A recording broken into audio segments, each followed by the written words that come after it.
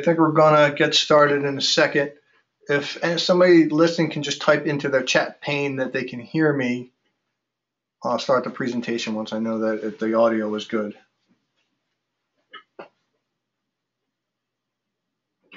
Anybody? Okay, looking good. Give me a second, I'll put up the PowerPoint and we'll move right along.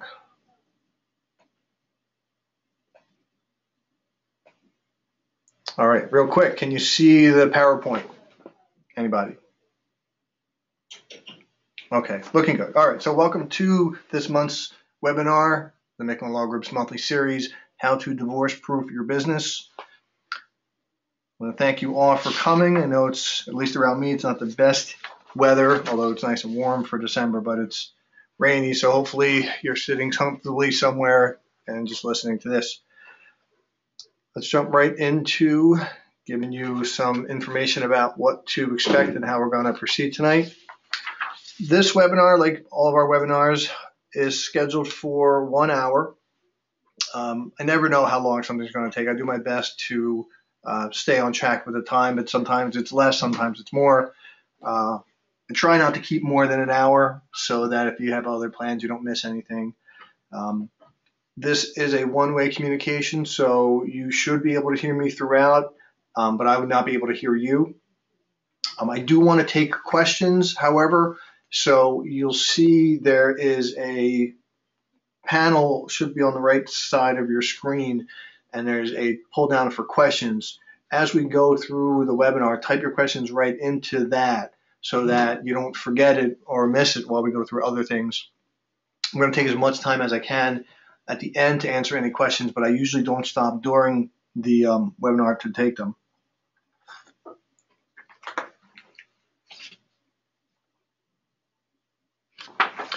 For those that have not met or worked with me, and that's the majority of people who normally attend my webinars, my name is Brad Micklin. I'm the managing member of the Micklin Law Group. Uh, I am licensed to appear in uh, New Jersey and New York both in state and federal courts. I started my law career about 20 years ago serving as the judicial law clerk to Eugene Austin, who at the time was the supervising judge of the Special Civil Division or Special Civil Part in the Bergen County Superior Court. From there, I went to Kessler and Associates. I did complex commercial litigation for a number of years. I liked the litigation, but I found that I didn't care much for representing businesses. I like to deal more with people. So I left Kessler's office and opened my own office, and I think it was 2001. It was 2000, 2000 or 2001. Uh, when I first opened, I was a general practice attorney, and I quickly learned that you can't be good at everything. So I concentrated my practice into divorce, family law, and estate planning and litigation. The Micklin Law Group, which was formed several years after, um, we brought in a few associates, and we still hold the same concentration: uh, divorce, family law, and estate planning litigation. I tend to handle more of the high conflict, high net worth cases, but our focus is on those four broad areas. Some background on me. I do this in my webinars not so that I can sound impressive, but um, many of you may come to work with me in the future. Some of you have maybe looked at my site or even consulted with me and you're contemplating whether or not you want to go forward. I say to a lot of people that I meet, you don't know if you have a bad lawyer until afterwards most of the time, so it's good to do research. This is just some of the awards I've received on the left side of the most recent ones from the American Academy of Trial Attorneys, National Association of Distinguished Counsel, and the National Advocates Top 100 Lawyers. The ones on the right side are um, legal based programs. Um, the right is a client distinction I received from Martindale-Hubbell, one of the largest legal online researching companies I think in the world. Um, I've received that a number of years running, as well as the um, Avvo Excellent Rated Attorney down on your bottom right. But enough about me. Let's talk a little bit about what we're going to be here discussing later. But first, let me tell you what we're not going to be discussing. I don't want anybody to be misled by the title. This is not going to be anything about divorce planning. It's not anything about hiding assets or minimizing the value of a business or the value of assets. That not only is not condoned, but if you try to do it, it will adversely affect and impact your case and your credibility. It is probably the first thing that a divorce court judge will look to when a small business is involved, especially if there's claims of depressed income or earnings in recent years. So clearly not going to discuss or try to assist in anything like that. So let's now talk about what we will talk about. First is equitable distribution factors. Equitable distribution, as we'll cover, is how assets and debts are divided, uh, uh, divided, are divided in a divorce case. We're going to talk about pre and post marital assets. We're going to talk about active and passive distinctions of assets. Now, those four um, classifications or groups are not separate and apart. They're sort of overlapping. Um, they're sort of separate, they're sort of together, but they overlap and, and many change. So we're going to talk about how to identify and um, safeguard as well as divide all of those. Second is going to be alimony factors. We'll probably spend a good amount of time discussing alimony.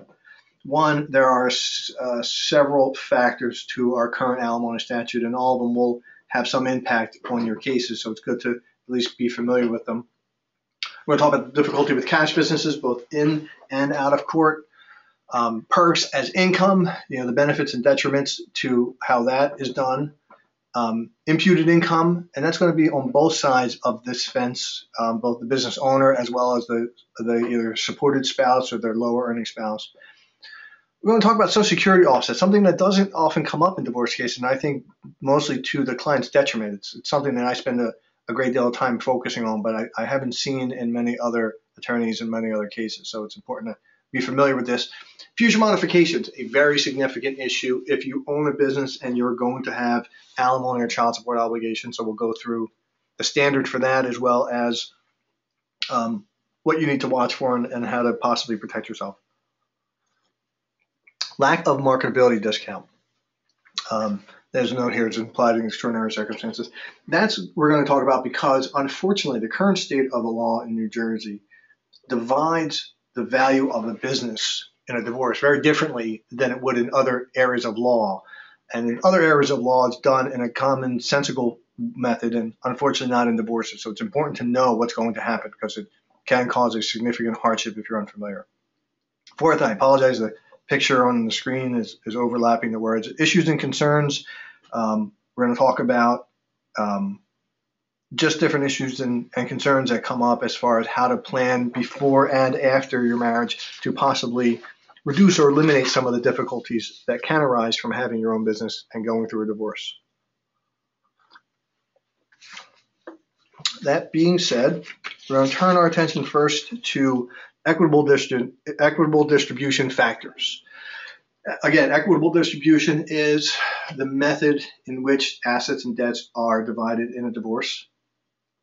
Um, here I put a note, generally division of parties' assets and debts are 50% to each party. Now, it's important to remember that it's equitable distribution. It's not equal distribution. And there's a reason that it's not equal distribution. Um, there are a lot of factors that can and should be considered when distributing assets and debts. And unfortunately, I don't think a lot of people do consider them. But there's a reason that we have these factors. So while it's commonly 50%, that doesn't mean it has to be. And you or your attorney should be mindful to carefully consider the, fa- the law that allows unequal distribution of your assets and your debts. So let's look at some of the considerations that you're supposed to consider when dividing equitable distribution. You're going to see a lot of these are similar to the alimony um, factors, which are going to be significant when we cover those because they've recently modified the alimony statute and in some ways in, in methods that or manner that has affected small business owners or, or any business owner, large or small. So let's look at the, the first ones we have here for equitable distribution. This slide we have the duration of the marriage, the physical and emotional health of both parties, the income or property that's brought into the marriage by either party, standard of living during your marriage, any written agreements that may have existed, may exist, or have existed, economic circumstances, and the income and earning capacities. Now, real quick, under income and earning capacity, there's several different things the courts will look at educational background, training, employment skills, work experience, length of absence from the market, and custodial responsibilities. This now this again this is only the first portion of the, the equitable distribution statute, but let's talk a little bit about the law that surrounds these factors before we really get into all the, the nuts and bolts of the business issues. First of all, marriage duration, very important consideration, and it relates significantly to the standard of living, which you see three factors down. Marriage duration is important because, um, especially under the new alimony statute, the law now says that alimony cannot, if, if the marriage is less than 20 years, alimony cannot be longer than the term of the marriage. Now, the duration of the marriage will also impact the distribution of assets and whether or not there should be equal or unequal distribution because you have a lot of factors that the duration of a marriage can influence. The longer the marriage, more likely the, the greater fluctuations in the value of assets. Doesn't necessarily mean that they always go up, doesn't necessarily mean they always go down, but there's going to be large fluctuations. There's going to be significant contributions, both marital and financial, in and out of this um, circumstance, the longer the marriage is. Conversely, you may have certain spikes that occur. You may have a person who um, spent 15 years developing a business and was single at the time, gets married, and the next year the business takes off. And we'll talk about this a little more when it comes to uh, factors of, about momentum. But these are things that happen that you need to contemplate so that you don't walk into having a judge say, well, it's it's 50 50 uh, age and physical emotional health of the parties is kind of self-explanatory. Income or property brought into the marriage. This is important because a lot of businesses are going to be premarital businesses, and even if they're started at the time of marriage, there's often a lot of premarital contribution, both financial and personal. You may have work experience or, or education, special education that you acquired before you got married that facilitates opening this, opening this business, and it's a factor that a lot of people don't consider when determining whether or not a business is marital or premarital. Um, standard of living, important again, as I mentioned, you know, the greater focus is now going to be under the new alimony statute, but what kind of standard of living did this business provide for both of the parties? Fortunately, the law, the alimony law again, um, has changed in that it indicates that neither party is entitled to a better standard of living than the other, or at least the standard of living is both parties are entitled to try to maintain a comparable standard of living. In the past, the focus had always been on the lower earning spouse's needs. And uh, the focus has now changed where they're recognizing that you can't, if one person is given enough to maintain a comparable lifestyle, that often leads the person who's paying it not to be able to live that lifestyle. So the new laws require that the courts create a greater balance, which is better if you're going to be the um, income paying spouse. And most of the content of this webinar is through the focus or belief on my part that the person that owns a business is also likely to be an alimony candidate or the larger earning spouse, because that is most often the case. So if you have a unique situation where for some reason maybe you're not, you have a small business and, and your your spouse earns significantly more, a lot of this information may not necessarily fit your situation. You, you may want to just email me if you have any special circumstances that I should be addressing for you. Written agreements, pre and post nuptial agreements. Prenuptial is, you know, most people are probably aware of the agreement beforehand. Um, even if the business does not exist before the marriage, you may have provisions in a prenup that provide for what would happen if it, if you do start a business. It will also determine how alimony is addressed. Um, if you have premarital assets going into your business, prenup would usually um, determine or describe it, whether it's protected or not and how your business gets divided. Postnuptial agreements, and I think there's a spot in here later that we talk about it again, um, are agreements made after the marriage. Um, most people aren't familiar that such a thing exists. They're, they're sometimes called separation agreements. Um, the current status of the law suggests that they are not the best agreements to have. A post-nuptial agreement, they consider them very coercive. I disagree, but right now I'm not making the law, so I have to follow it and tell you what it is but they deem those agreements to be very coercive because they deem them to be sort of a um, sign this or I'm going to divorce you.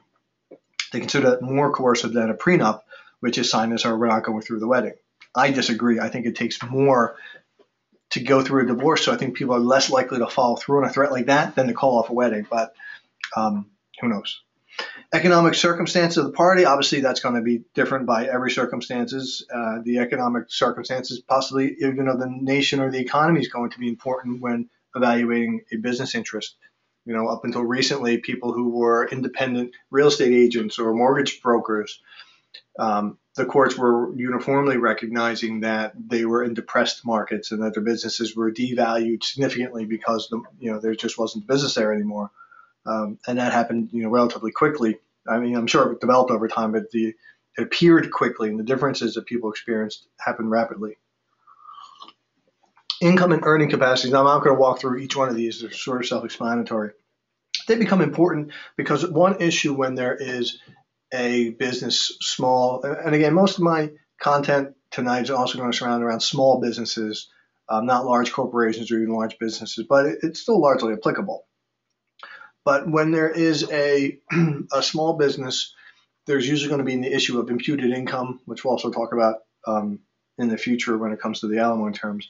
Imputed income is the increase of one person's income beyond what that person is actually either receiving or bringing home.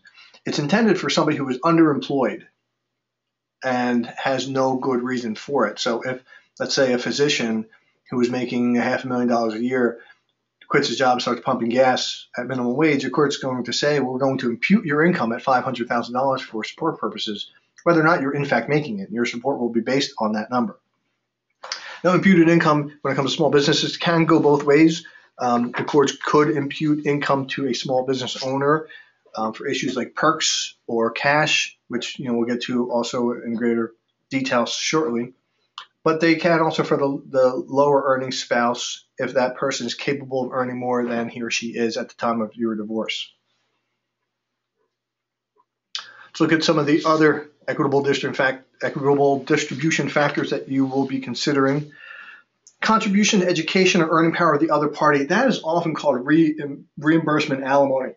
If you supported the other spouse in obtaining a higher degree or specialized education or occupation, and that person is generating more income than they would have without it, you're often entitled to a reimbursement alimony claim for that contribution.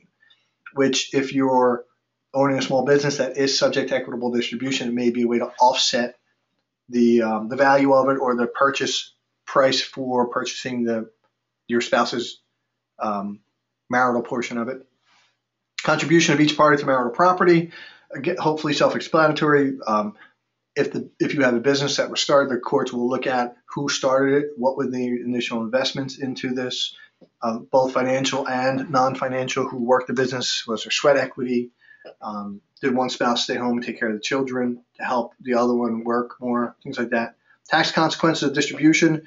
There's sometimes going to be capital. Uh, well, there may be capital gain issues. Usually, there's not many tax consequences to transfer of assets in a divorce because the asset transfer in a divorce is usually tax free. But what you need to consider are the future tax consequences to the distribution that's occurring now. Like, will there be capital gains taxes?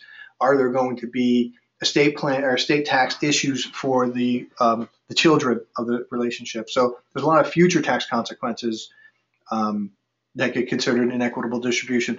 When it comes to a small business, I think most of the issues are going to be income tax and possibly capital gain, and I guess depreciation. Depreciation.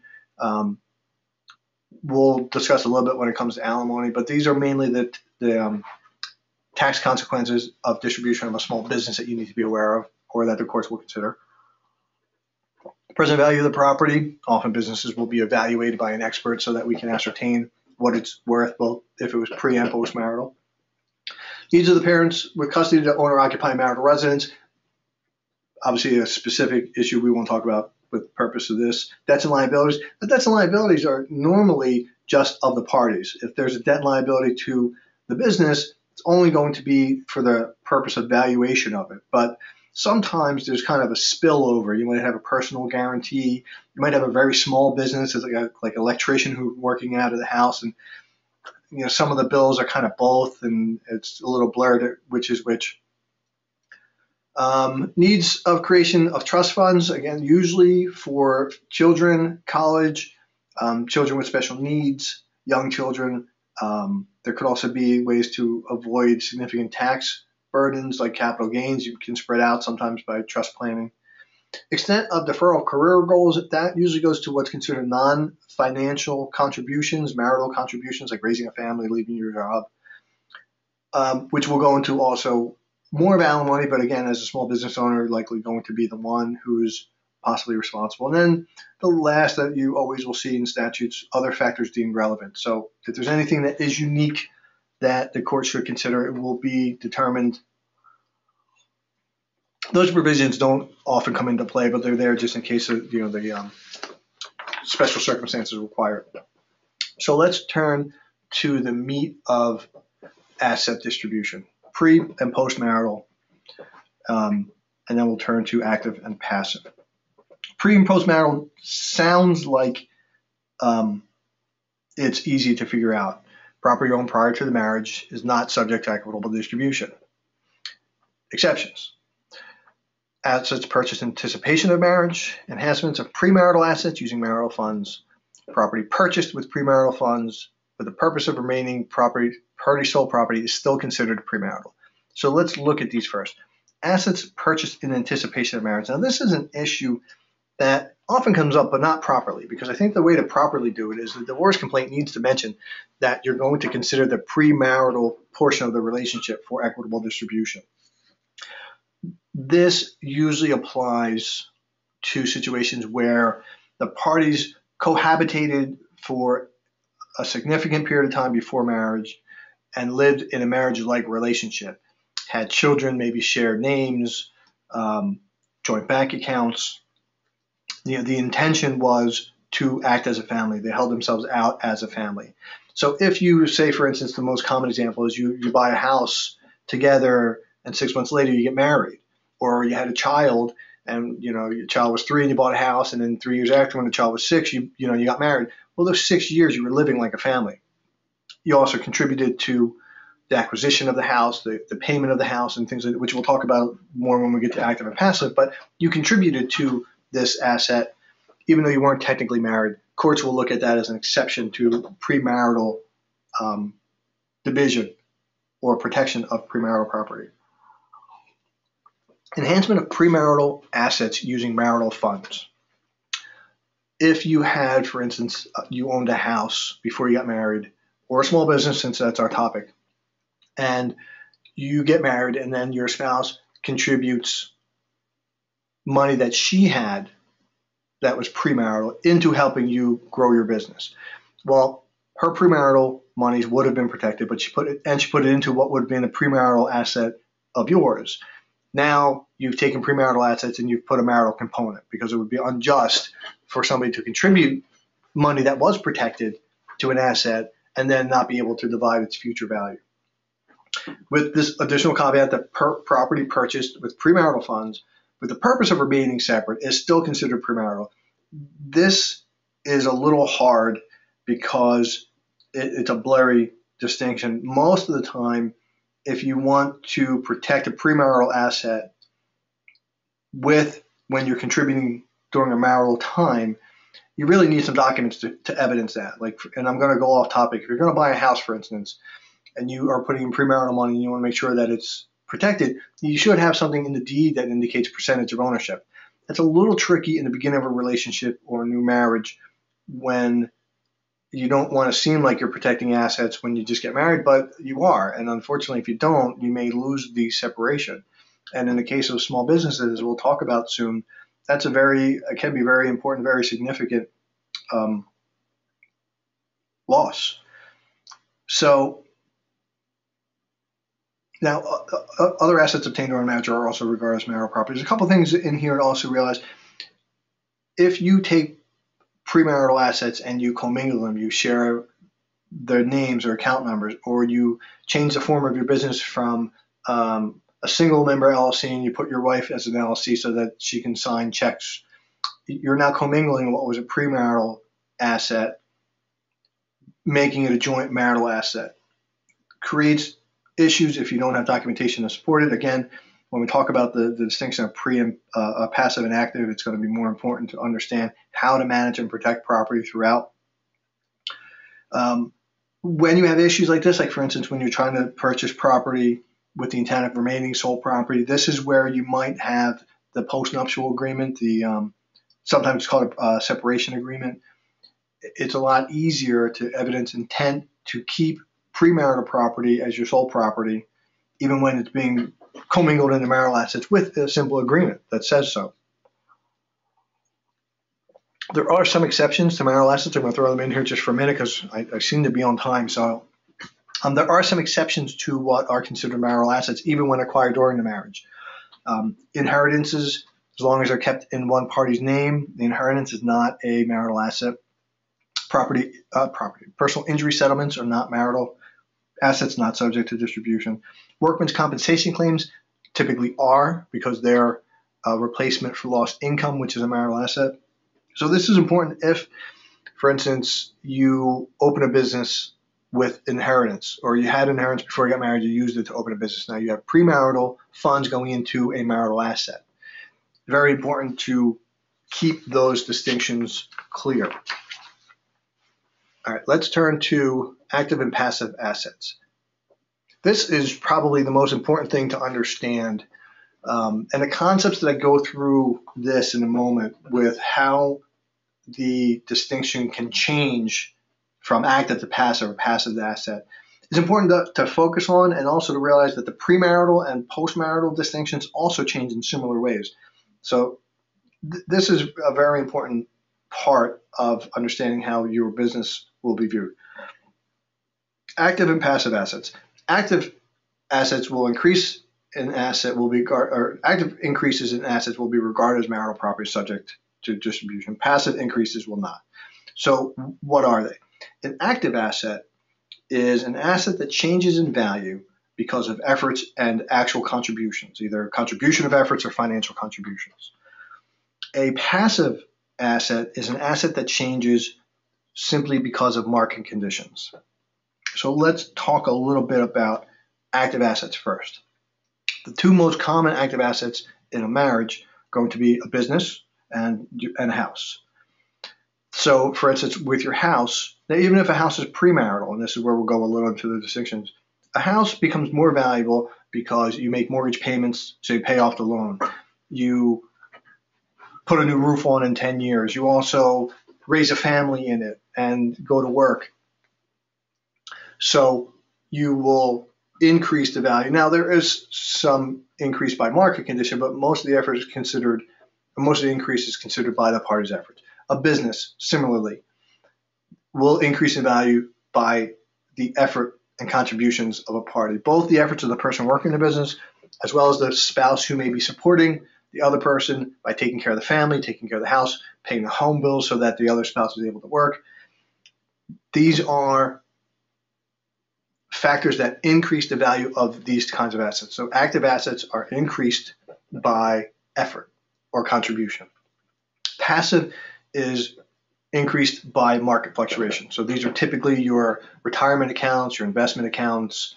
Um, commercial property is considered passive um, because whether you work hard or not, you're not necessarily going to change the, the, the value of these accounts. Now, it may be different, for instance, if you were a day trader, but it's a topic for another webinar.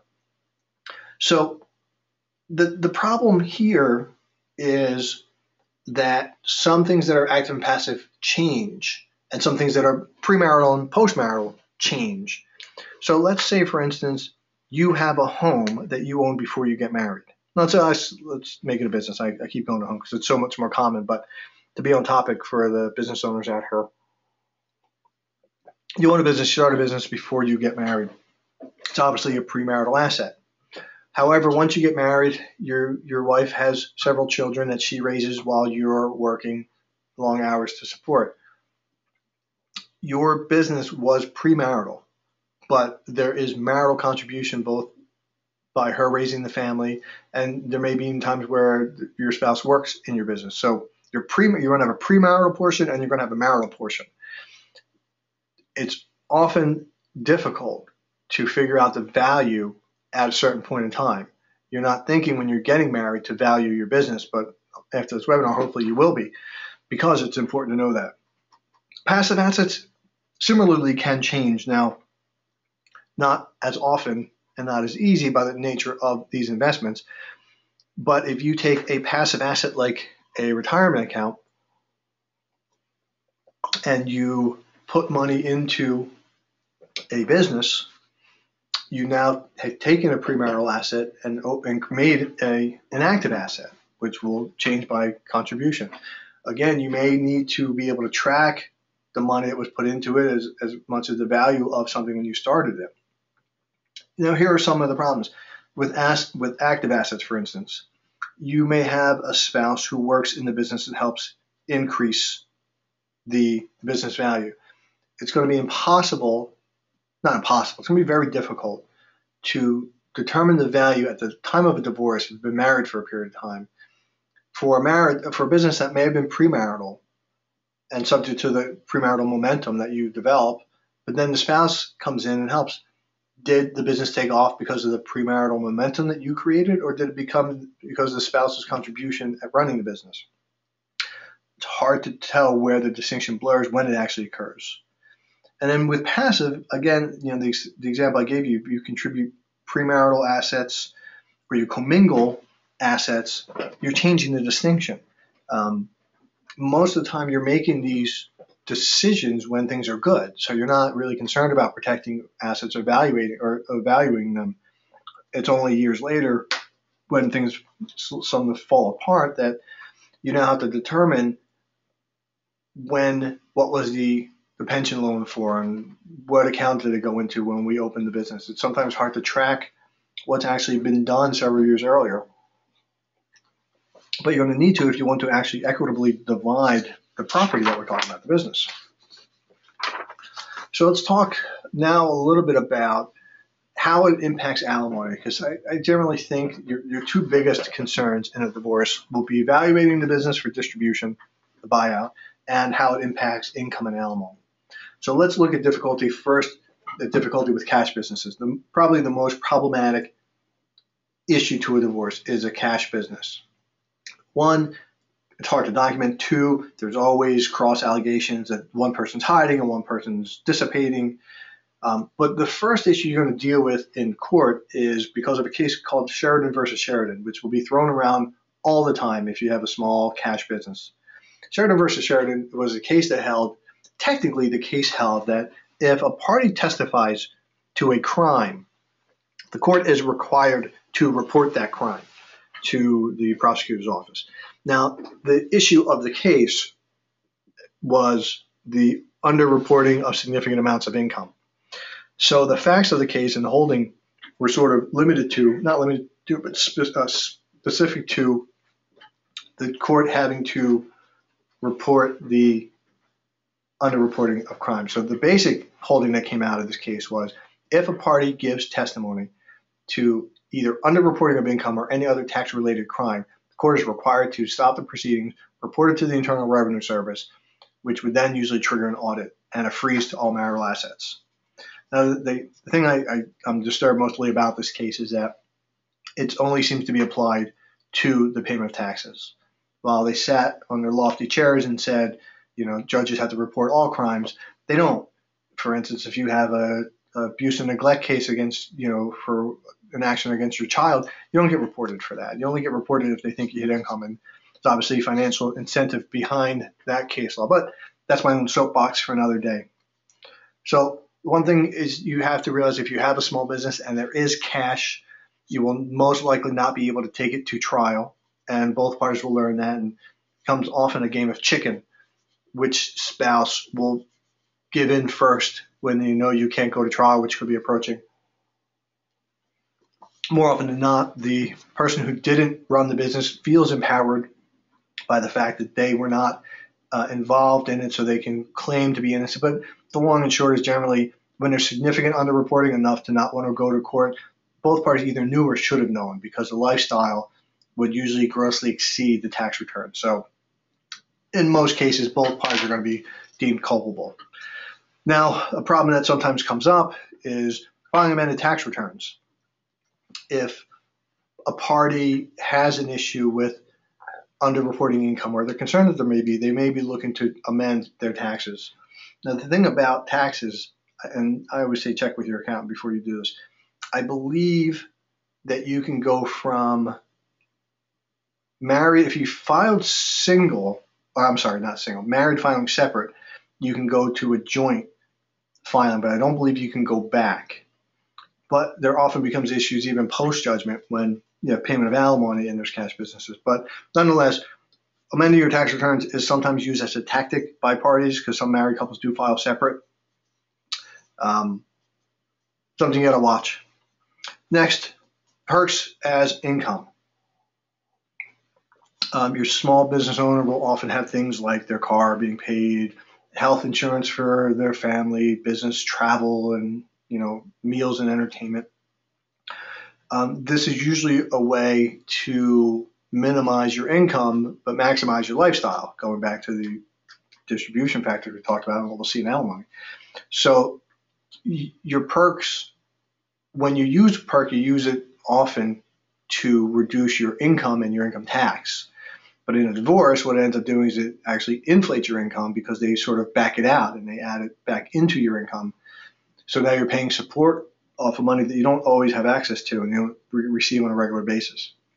Imputed income. Touched on this uh, basically when I first opened the equitable distribution issues. Courts may assign additional income for the purpose of calculating support. This is when they believe that a person is underemployed. So let's say you're running a business and you're not taking significant perks, but the income is either reported to be very low or you're simply not making that much because you're working a business because maybe you enjoy it or or you know you don't want to give it up and go back to working for a W2, but you're not making a lot of money. If you have the capability of making more by getting a job, the court's going to consider that you should be, in fact, looking for that job and closing your business. So if you want to stay self-employed and making less than you might in a job, they're going to impute your income. They're going to assign additional income solely for the purposes of paying your support, even though you might not actually, in fact, receive that money. Um, one other quick point to look at when talking about like perks and income, not, I don't believe it pops up here. Certain things will also be backed out of your expenses, like I, I mentioned briefly. When they when your business pays for things like your car, um, your cell phone, um, there's depreciation on on buildings and assets. That those are all added back. So, like for instance, you know, you take a twenty thousand dollar depreciation deduction on your taxes, that gets added back into your income, and that's not actual money that you receive. It just reduces your tax burden. So, these things you need to scrutinize how your accountant, if you have an accountant, is filing your taxes and reporting your expenses before you file a divorce or evaluate your business because you need to know what monies are going to be focused on for the purposes of your paying support. So let's look a little at alimony factors, additional things to look at. So security offsets, I talked about. This, this is an issue that I've never seen anybody else raise but me. And I think it's it's something very important, especially if you have a long-term marriage. You know, a lot of people focus more on your lifestyle and asset change, but a person who is self-employed is most often paying themselves less because they're getting things like perks and depreciation and things like that. But at the time, you're not thinking about the fact that you're not developing a Social Security bank like the W 2 wage earning spouse that you may be related to. Now, I know there's some people who wonder whether or not there's going to be Social Security in our future or not, but that's not for us to discuss. A lot of people fail to realize that when a business owner retires, or closes the business or whatever it should be, they're going to get significantly less Social Security than the other spouse. Now, my view is Social Security contributions are also a marital asset because they're acquired while you're married. They're put in through wages that are marital assets. So a spouse's receipt of Social Security benefits is due to your efforts enabling them to work. You need to look at, especially when you have a long term marriage and possibly have a long term or significant alimony obligation you need to look at what are the Social Security payments going to be as a, a way of maybe reducing or minimizing your support obligations. Second, and this is most important, future modifications. One of the greatest problems a self employed individual encounters is the need to modify his or her support obligations post judgment or, or after your divorce is entered. Now, there, there's something called an anti Lepis clause. That came from a case Lepis versus Lepis, which talked about maintaining the marital standard and a significant change of circumstances in the future allowing for a modification. More often than not, you'll have a divorce case that settles. And more often than not, in your settlement agreement, you'll have an anti Lepis clause. You'll have a clause that says, we're agreeing to alimony, can't be changed for any reason. And people just think, well, that's great because they want to get divorced, they want it over with, or they things are good and everybody thinks things are going to stay good. And then things turn bad and they need to change your agreement. But an anti-Lepis clause prohibits you from doing that. So what I strongly recommend to all my self-employed clients is when you're negotiating, what you want to negotiate and what's important to negotiate for you. Uh, I'm getting a message that there's no volume. Are you able to hear me? Somebody type if you can hear me. Uh, I'm not seeing any messages.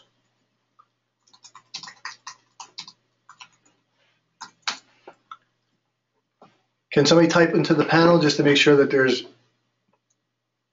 Okay, it seems to be back. Okay, so, all right, so going back to um, what I was saying, um, I hope you didn't miss the part where I talked about anti Lepis clause.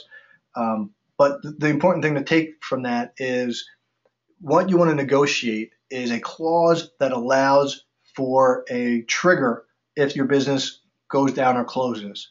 Normally, and it's a little different now because the alimony statute, which I'll talk about in one second, change it. But normally, even under the new alimony statute, when you file or when you have a change of circumstances and you need to modify your support, you have to file a motion with the court. After waiting, I think it's three months. You have to wait three months where your obligation either has to be paid or you're in arrears. You file an application asking for a modification. That takes a month to be heard. When you're heard, if you're successful, and it's hard to be successful because you need to show that over those three months you did every single thing you could to look for another job. If you do that in three months and your motion is successful, all you get is a trial six or 12 months in your future to determine whether or not your obligation should be reduced. It's sort of like a mini divorce. So you'll have six or 12 months that you're supposed to be paying. Sometimes you get a temporary reduction, sometimes you don't. But you continue to be under the burden of this obligation and spending a ton of money that you don't have because you can't make your support. What I normally advise my clients, going back to the point I was trying to make, is to negotiate that in the event the business dries up for, through no fault of your own, that the other spouse consents to putting the term of the change of circumstance modification to arbitration or mediation. Arbitration, I think, is better because mediation doesn't force an outcome.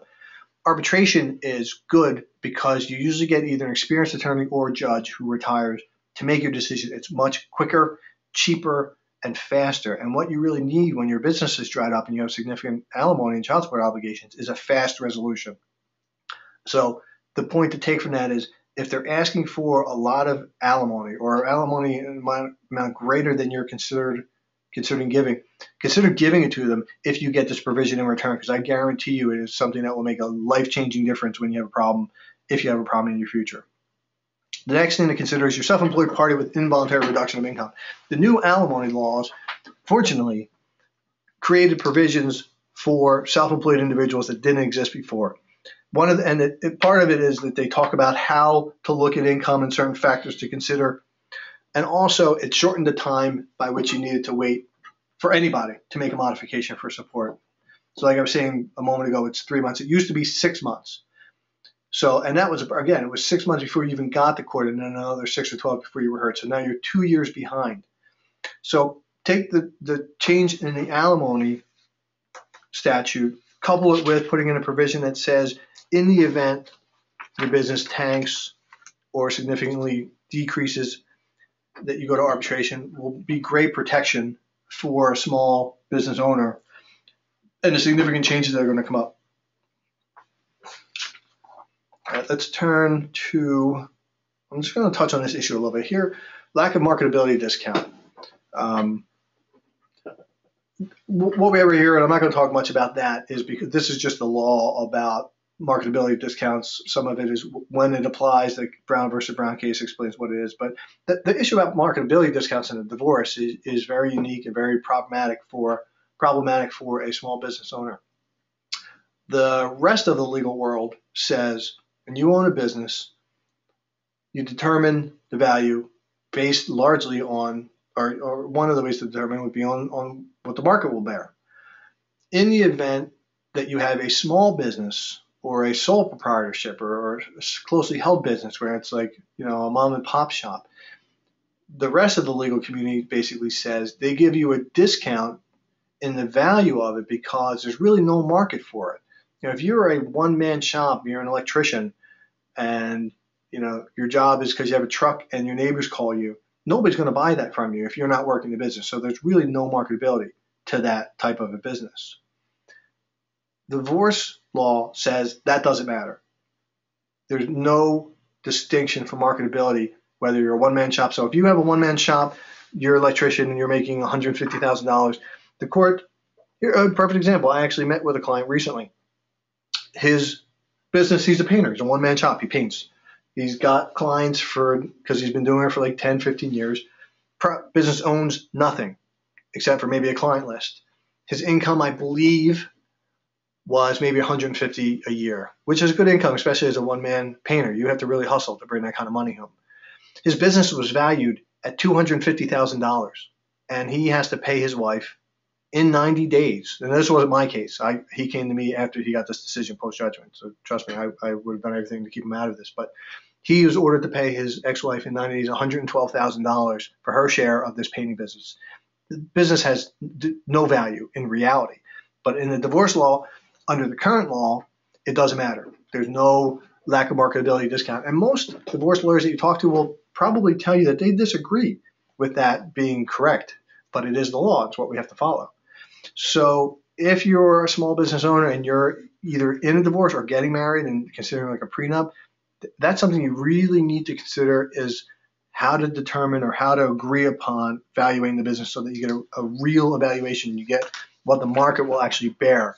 Because another problem that comes up in here is you will often need to borrow significant funds in order to pay that share. For instance, let's go to this client who just came to me yesterday with this horrible judgment. He's going to borrow $112,000. Because he's going to have to service that kind of loan, his income is obviously going to be reduced because he's got to use his income to make these payments. But for alimony purposes, the court will consider what his income is currently. So even though he's got to take, let's say he's paying $2,500, 20, you know, $30,000 a year in payments to pay this loan back, he has $30,000 less money to spend. Courts do not reduce his income by $30,000. His income is still the same. So he pays support based on the income that existed when the business was full, even though the business is servicing debt and your income drops. So without addressing marketability before either in a prenup or in your negotiations, you're going to have significant, significant problems managing buying your business because you're going to have to buy the asset. Another unfair aspect is you can't just order it to be sold necessarily. It's your livelihood.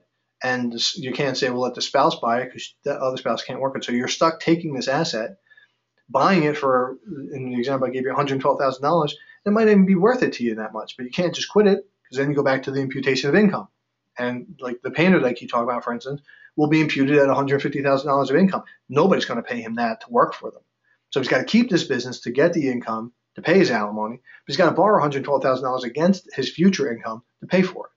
It's horrible if you don't plan properly, and if you're not aware of it before you go in, it's even worse. To talk a couple minutes on some just small issues to understand how values are considered and change. You have momentum and non-financial contributions. Two of the probably the most important issues that come up, both in alimony but also in the valuation of a small business. Momentum. Momentum of the marriage, here's the uh, judge's quote, is the fruits of the parties' joint effort during their partnership have now ripened into a proven ability to earn substantially high income than he or she ever earned during the marriage. The momentum is what I touched on before, kind of cuts both ways. Sometimes you have momentum that is pre and post marriage. If you're working for 10 years when you're married and you start a business from scratch and you know you're working it out of your basement and 15 years later it's a viable, healthy, strong business. That's momentum. Even if you're working it for 15 years while you're married and you're not making any money, the next year you do make money. The year after you get divorced, you make money. That's going to be considered marital effort because it came from the momentum of the marriage. The second is non financial contributions. This is commonly, typically going to be the stay at home spouse that raises a family. Um, that spouse may or may not work, but even if they're working, they're still usually taking more of the house and child related um, responsibilities on so that the other party can dedicate their time to building this business up. These both of these issues are, are difficult issues when it comes to valuation and alimony because momentum can be post uh, pre and post marital. Um, and most often it is because again sometimes you have just your educational background. Like let's say for instance you're an attorney. You're working for a firm. When you get married if you open your own practice it was the experience and the education that you had long before your marriage that enabled you to do it. You couldn't open one without it. But that's usually not considered by people when they're determining equitable distribution because like i said in the beginning they don't use the factors. Non-financial contributions not much planning you can do around that it's I have it there just so you understand that it's they're going to look at it. Some people are going to say, my my spouse didn't do anything for the business; they just stayed at home. Well, that's that's non-marital contributions. That's non-financial contributions because that enabled you to stay at work.